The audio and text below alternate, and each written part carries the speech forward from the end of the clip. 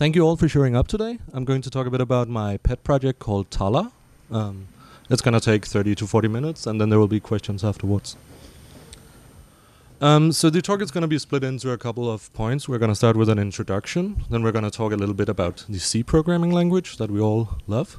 Um, then we're going to walk over a bit of the architecture behind Talla, some testing, and how we represent a very specific component of the software um, in Erlang. And then at the end, there's questions. If there's anything you want to sort of interrupt me with and ask a question during the talk, feel free to do so. Um, so Talla is an attempt to write a robust third-party implementation of Tor. Um, I decided to do it in Erlang because I really like Erlang. Is there anyone in here who's familiar with Erlang? Then you can raise a hand. Oh wow, there's a lot of people. Cool, very cool. Um, so this is also a talk to create some enthusiasm for the project. So if you want to hack on it afterwards, come by to me and we can talk about that. Um, it was also I, everyone who's here, I guess, knows something about Tor and knows like the EFF picture with uh, with how Tor works. Does everyone know that picture? It's used quite a lot, um, and I wanted to know a bit more deep how it worked. So I wanted to try to implement, look at the specs, see how it works, see how what are the problems with designing these things, and so on. Um, it's also one of those typical evening-only open source projects where I have a little time every now and then, and if I have time to hack a bit on it, I do it. But other than that, it doesn't get too much attention because I also have a work to do. So a little bit of the history. It all started out at the Erlang User Conference in 2015. They take place each year in the summer, uh, where I met Linus from the Tor project. And he was very enthusiastic about doing a Tor implementation in Erlang, but didn't have much time to do so. So we sat back during one of the talks and talked about what would be required to do so and how far would we be able to get in, in what kind of time frame. So we started the development in August 2015. Um, we had a very simple proof of concept daemon up and running uh, a bit later that year. And we then went to a slightly more sensible design um, a couple of months after that. And a guy called Lasse also joined. Oi. Um, and Lasse has been working on it quite actively ever since and cleaning up some of the initial code and so on, getting it to work in a more stable manner. So right now we're two active people on the project, and we're of course interested in finding more active people to the project. Um, there is the official Tor implementation in C, and then there is a couple of other implementations, as you can see here. I'm not going to go over any of them. They are um, specific to the languages. Some of them are further than others. Uh, Galois, which is like a, a, company that does a lot of Haskell, they're pretty far with their implementation. They have um, hidden service support, I think, up to that point, and then nothing else. Um, I think the Subgraph people are the ones who started the Orchid project, which is the Java implementation, which is also pretty interesting. So these are the ones you could look at. Uh, the one that inspired me initially to do it in Erlang was the Go implementation, which um, it actually managed to run on the production network and set some pretty uh, with a very very fast relay. So we set to figure out a minimal viable product to do here, um, but due to Tor's end-to-end nature of the program, we really didn't want to implement a client because the client is where all the difficult logic is. It's the client that decides the circuit paths. It's the client that does all the crypto negotiations, etc., etc., etc. So we settled on doing a middle relay um, as the primary priority and as a secondary priority doing exit nodes. I guess, is everyone familiar with the differences between those two? Great. Um, onion services we're ignoring for now, except where we have to, and we want to use as few C dependencies as possible. That's also part of the goal because, like, we're going to talk about that a bit later. It was also Im important when we started the design that we did it so modular that we could go back and rewrite the core part of the system from scratch if we did something stupid, because there's a big chance we're going to do that. So when you do something like this, you have to be a bit careful with what we do. We cannot run these things that we experiment with on the production network. Um, there exist few test networks. I don't know if people are familiar with Bitcoin. Bitcoin has a very active test network, and it's well running, and there's nodes on it, and it's doing work. Tor has a small test network, which is only like internal people, and you have to get invited to it. Um, so we have to settle with some smaller test network that we run ourselves. I'm gonna get back to that when we look at the how we test the source code. Um, I also started an email thread in August about what the Tor project saw as important aspect to think of when you start a project like this, because there might be other people doing it at some point. So there's already a lot of people in here who knows Erlang. Erlang is a functional programming language made by Ericsson in Sweden. Um, it focuses a lot on doing concurrency, where we pass data around using messages. Some people might be familiar with that from other languages, but Erlang is based around this actor model where you design everything using different processes that communicates throughout message passing. It has one really neat feature. I don't know, the people who are doing Erlang probably knows them as binaries. It's a way to do pattern matching from functional languages on binary structures, which is really, really, really awesome. Um, it was the one feature who really sold me on Erlang initially. And it's very nice for working with network protocols because of that, both string-based protocols, but also like real binary protocols like Tor.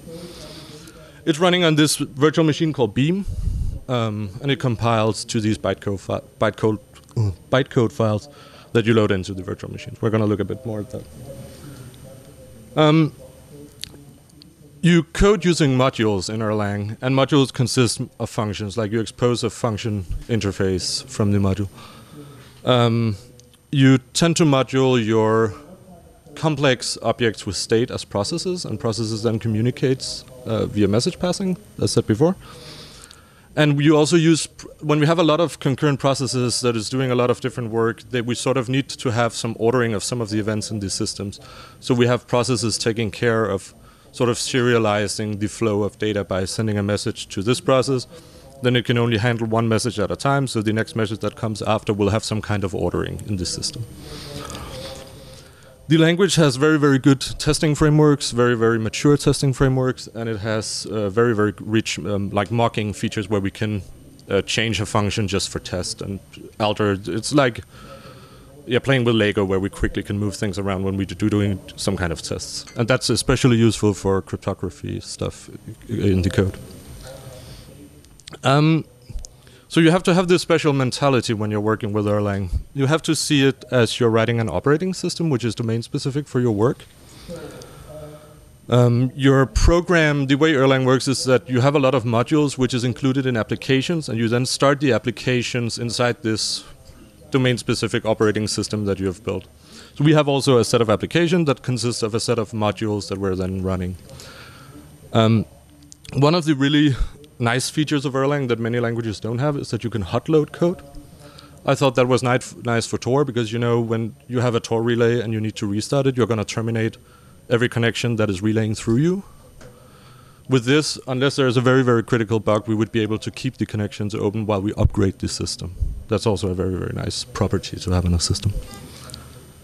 Any questions about this? No.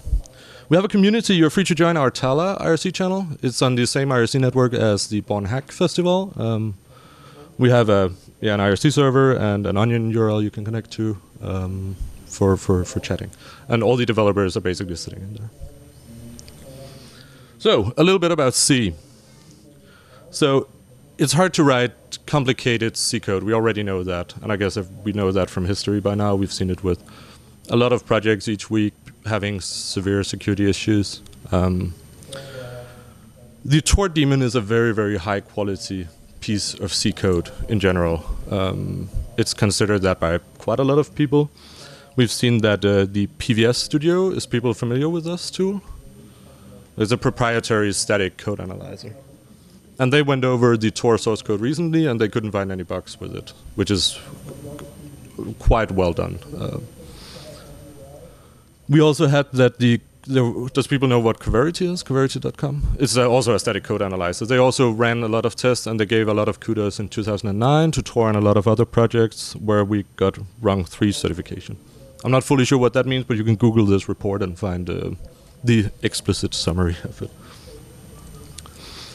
Um, Tor and C works pretty well. We have very high. I also work on CTOR in like for a living.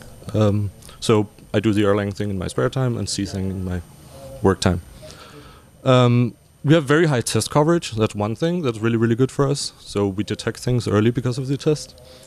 We have um, active team rotations in the core team of Tor. so that each week we have different tasks we need to deal with, like handling new bugs, handling user support, and one of them is handling Coverity issues that comes in from static code analyzers running around.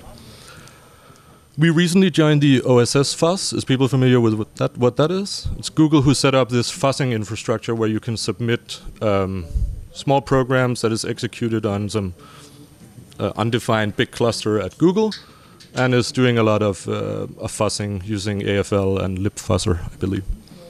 And of course, we have code review, uh, as all other mature projects. Everyone, all code that goes in has to be reviewed by someone. And we also have that Nick Mathewson is at the end reading all lines that enters tor.git. So there is like an extra safety net there in Nick. So some really interesting work that started happening at the last Tor developers meeting um, when we were in Amsterdam earlier this year was that there was a breakout session about third-party implementations, and uh, it was led by Chelsea. Um, there was a lot of discussions, mostly around a thing like Talla, which is an entire rewrite of Tor, but also by people who want to slowly change the CTOR into something else. And we are actively now working, or well, Sebastian and Chelsea and ISIS are working on uh, integrating Rust into the CTOR project. There is Rust code already in the CTOR repository, and you can build Tor with Rust enabled. And I believe we use the Rust memory allocator as sort of a test for all of it. It's pretty cool, and it seems to be that way we're moving right now. We're talking about new features. At some point in the future, it's going to be have to be written in Rust instead of C. So Talla and C. So I want to write something that has a little C as possible. Um, Beam is C by nature. Um, we use libsodium for some cryptography. We use libcrypto for, from OpenSSL or LibreSSL but we do not use libSSL. Does people know what the difference between that is? So libSSL is the TLS state machine and the TLS protocol, and libcrypto is just the crypto primitives. So we don't use when there is issues with TLS in OpenSSL, we're not affected. Erlang has its own TLS state machine. We also had to use some small C functions for RSA key generation because that was not available from for some reason in the Erlang VM. So I'm going to jump to a bit of the, how the architecture is in Talla. Was there any questions to any of these things? No. Cool. So we have one component called enacl. NaCl is this small crypto library made by Daniel Bernstein and a couple of other people. enacl is written by Jesper, who's uh, quite active in the Erlang community. It's a wrapper around libsodium, and we use it for X25 519 Diffie-Hellman and for it has access to /dev/urandom. It has like a wrapper that is portable for different operating systems that we use for random uh, byte sequence generation. The source code is on GitHub under Jesper's URL. It's a pretty nice library. It's very well tested and pretty high quality. It's used a lot uh, by, by different Erlang projects. Then we need to also use ED25519. It turns out that there's different versions of this signature scheme where they encode the signatures differently. Some hashes the public key into the final signature and some doesn't. So we couldn't use ED25519 from X25519, uh, no, from uh, enacl. So we had to take the implementation from Tor, lift out of the Tor repository, and make a small shim um, to interface with Erlang for it. And Yawning was a great help for this, to find out that there is different versions of this signature scheme. I think it took me a weekend to figure out this. Then we have Luke. There's this uh, big fear in the crypto community right now that everything has to move to post quantum uh, cryptography, where we're secure against quantum computer attacks. There is some work by ISIS and uh, Peter Schwabe, where they've made a specification for Tor to support this uh, New Hope handshake mixed with X25519, so that if New Hope turns out to be a problem, then we can still rely on the hash function that we believe is secure and X25519, which we believe is secure now as well. We haven't really integrated it yet because there is no code for the CTOR implementation right now to support this, so we're still sort of waiting a bit with how that is going to turn out for, for Tor itself. Yes? Uh, I'm not familiar with uh, New Hope and what kind of uh, primitives is that based? Um, it's based on, oh, what's it called? Uh, ring learning with error that's sort of the problem they're using uh, in in this system. Okay. So it's like it has pretty big keys, but smaller than some of the other quantum, post-quantum. Uh, it's also important to address that Tor is trying to we don't try to prevent an active attacker who has right now a quantum computer, because then we would need to change all the signature schemes as well. So it's only that we want to be sure that the data flowing in the network cannot be decrypted when someone in the future builds a quantum computer. That's two different attack scenarios. But this is mostly a fun project that I added one evening, so there's nothing yet for from Tor about this. Then we have the most important library. It's just called Onion. It's a small Erlang application which binds all these other components together and exposes a nicely modular interface, which means that the big application, which does all the state machine for the protocol, has some utility library where there's not really many stateful functions, which we can just use as API for wrapping out to different providers. Everything we do, we generally try to generalize it and lift it into the Onion library, and then we add, make sure that there's tests for all the code in there. So that is like the most important and most stable part of the project right now. It's like the standard library for building Tor-related applications in Erlang. Then there's Tala itself. Um, if you're familiar a bit with Tor, there's like a directory component where there's something where we work with this system where you announce your relays and clients use it to figure out which relays exist and they're voting about it. And then we have an actual Onion protocol where we connect through the networks using this using the Onion protocol. And then we have some kind of core, which is abstraction. It's um, information about uptime of the relay and stuff like that. Things that just needs to be generalized, but are still somewhat stateful the onion routing component and the directory component have sort of a circular dependency to each other, which is really nasty that we're trying to figure out how we deal with somehow. Um, that means the code is a bit more icky than it's supposed to be, but we have some kind of idea how to abstract it out right now by, of course, adding one extra layer of abstraction. this is pretty much how it looks. We used to not have RSA. Uh, no, we, we used to need a C shim in the Onion library for uh, key generation of RSA that has been moved into OTP, like in the Erlang releases. So we don't have that need anymore for from OTP uh, 20, which was released in June earlier this year. But this is generally the whole, all the dependencies, all the applications that we have running in the Erlang VM. Of course, ignoring all the things that comes from the Erlang standard library. Testing. Was there any question to any of this before? No. Can people see this? Yeah, ish. Okay, cool. We have like classical unit testing, and um, the Tor source code itself comes with a lot of tests. That is very nice when you're working with this because you can just copy out some of the test vectors and play around with it and make sure that your code works. This is generally taken from uh, the CTOR uh, implementation.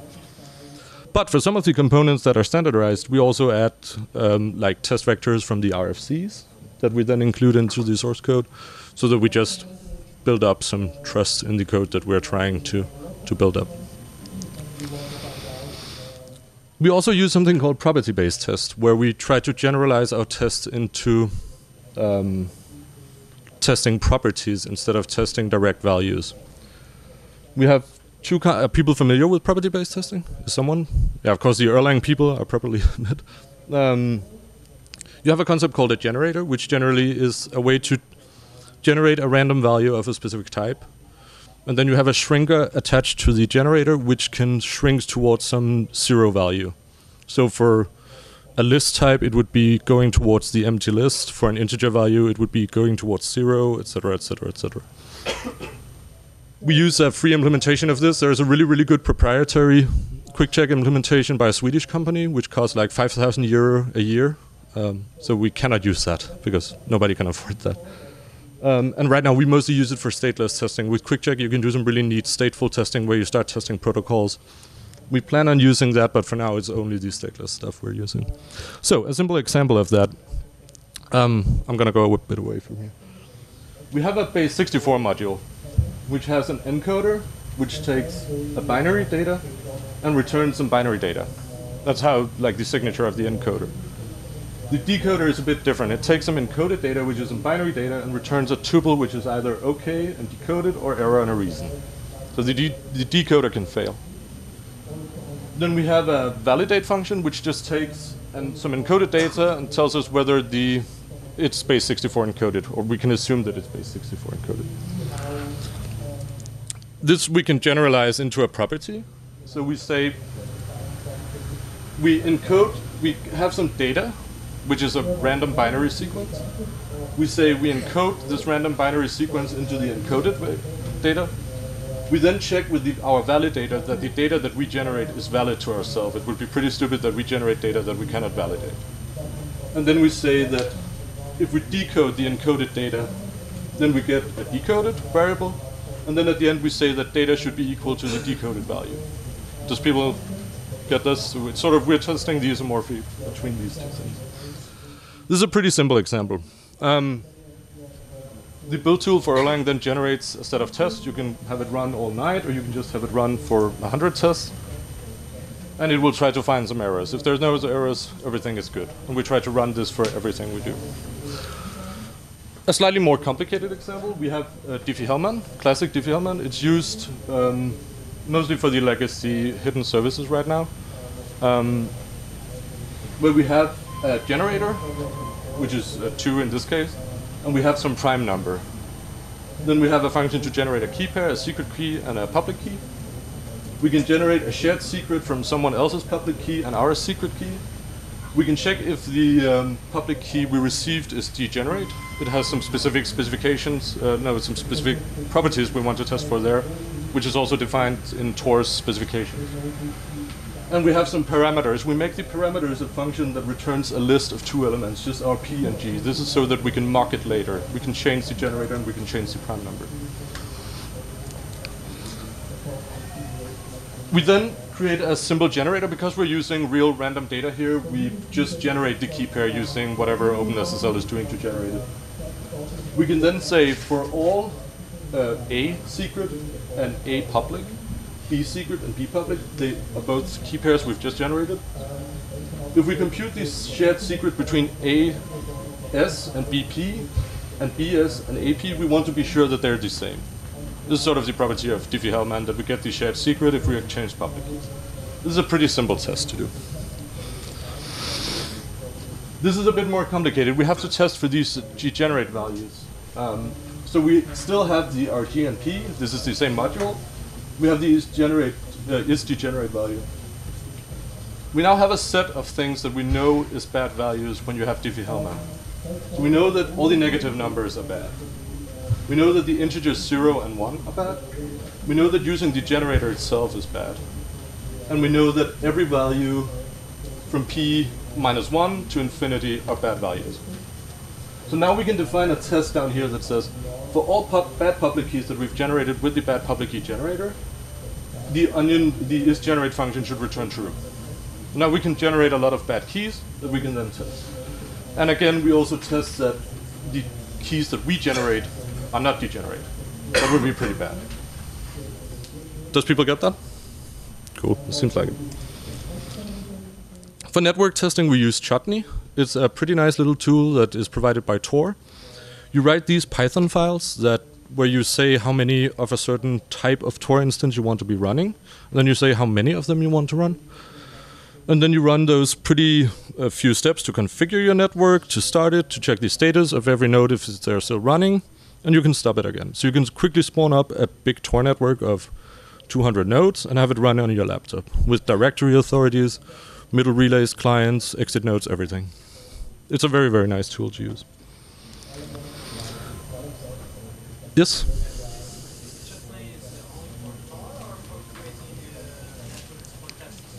It is designed for Tor, uh, but basically it takes a binary and just starts the binary many times with some configuration files from a template.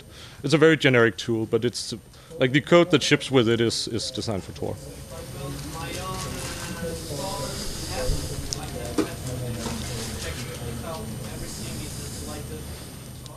Yeah, you can integrate your own stuff into it. So I integrate Talla into Chutney. So I spawn a big network of ordinary CTOR demons, and then I run a few Talla demons in it.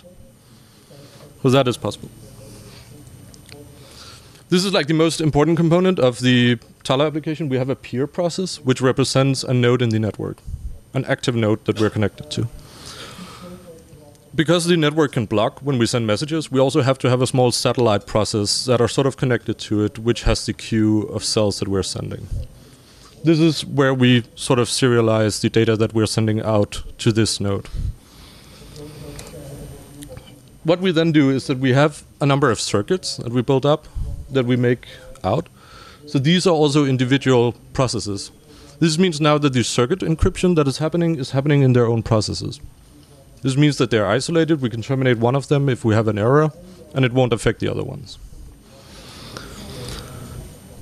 When we build connectivity to another node in the network, because we're only a middle node, we never make clients. That means that we always have a connection coming in which wants to connect to someone on the outside. This means that we have a representation of both of them and we have a manager which sort of takes care of all the input and output of it. And make sure that if one of them disconnects, the other one is notified, etc., etc.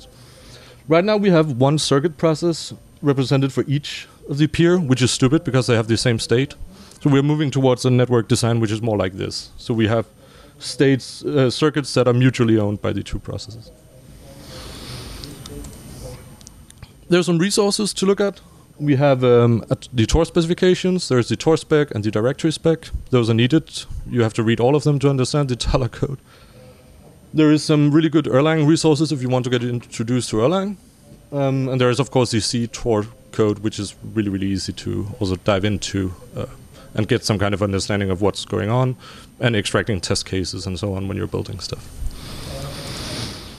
The source code itself for Talla is available. I would really like that you don't run it on the production network. That's sort of the whole carefulness thing. Run it and test if you want to play around with it. Um, and feel free to submit uh, issues and patches if you want to work on it. So some of the conclusions that I found out when I started this project, and especially after I've started working on the C implementation, is that it's really, really difficult to write a third-party implementation of Tor. Um, these specs are really good. There's really good tests. But there's a lot of things in the source code that is not in the specifications because there is such a big research community and security people who are looking at Tor constantly and things are evolving very fast. This makes it difficult to make a very safe implementation it was a really good way for me to get a very deep understanding of how Tor works, which was one of the things I really wanted to to learn initially. Um, we're at the point where we can relay traffic as a middle node. We want to do exit node during this year at some point.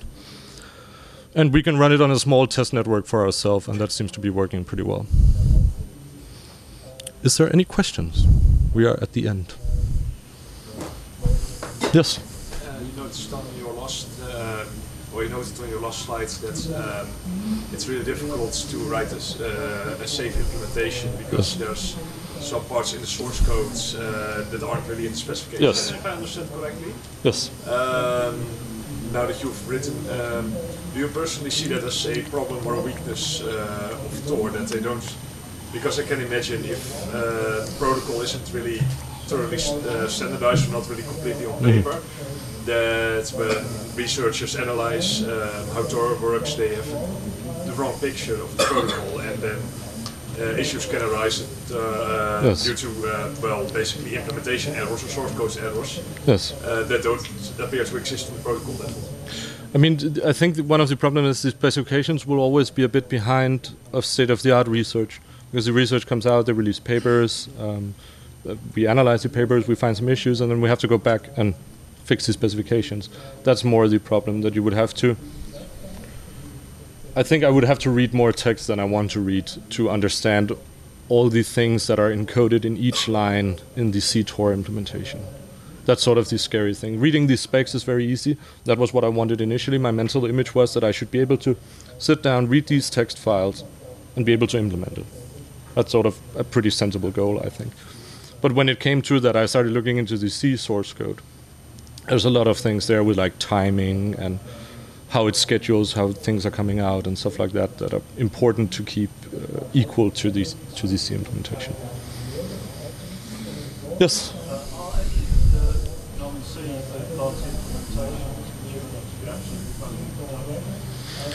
No, um, the Go implement. Oh, I actually think the Java implementation might have some client nodes. Um, but of the middle nodes, I think the Go implementation written by Tom, he he wrote it and ran it, and I think it broke some records in how much traffic it was actually running through. He faced a problem with a memory leak between Go's uh, copying between stacks from how Go is to the C code of OpenSSL. Um, that I know has been running on the production network, but it's not running there anymore. He sort of left the project. Yes. Uh, are there any specific reasons uh, why you haven't chosen Elixir? Uh, very good question. Uh, for people who are not familiar with it, Erlang is sort of uh, an old uh, functional language, and Elixir is a more modern. Um, it's a bit Ruby-like. I don't know if it's bad to call it that. It's a more fancy version, and it's running on the same virtual machine. There is no reason other than I know Erlang. Um, I think we would welcome Elixir components in it. Uh, we we use Rebar 3 as build tool, so you would be able to use it. Um, but I, I just don't know. I actually think I like some of the things from Elixir, but I'm just more familiar with Erlang. Cool. Other questions? If you want to, you can come by our village. Oh, if you want to, you can come by our village and chat a bit about it if you're interested. Cool. Thank you.